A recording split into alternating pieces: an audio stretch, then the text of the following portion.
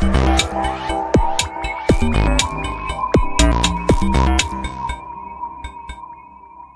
everyone, welcome to this psychology lecture series.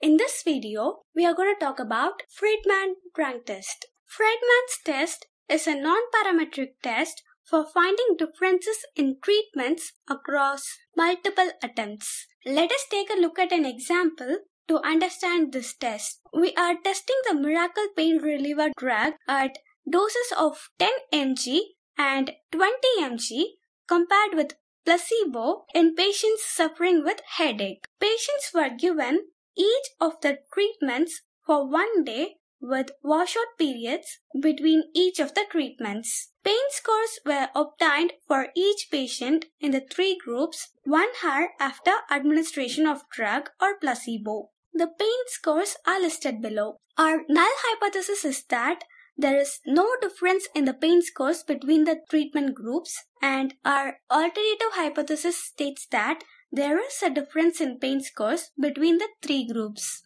We assume our alpha value to be 0.05 and our degrees of freedom is calculated by taking the number of treatment groups minus 1 that is 3 minus 1 equal to 2.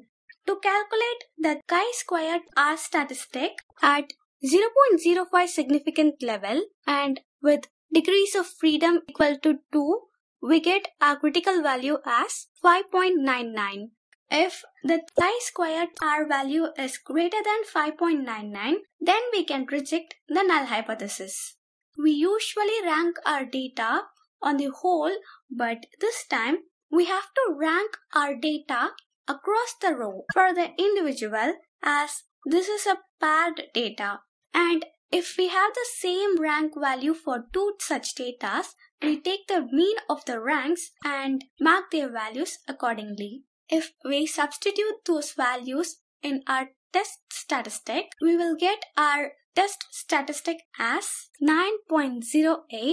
So our chi-square R value is greater than our critical value. So the null hypothesis is rejected and there is a statistically significant difference between the groups. I hope you like this video.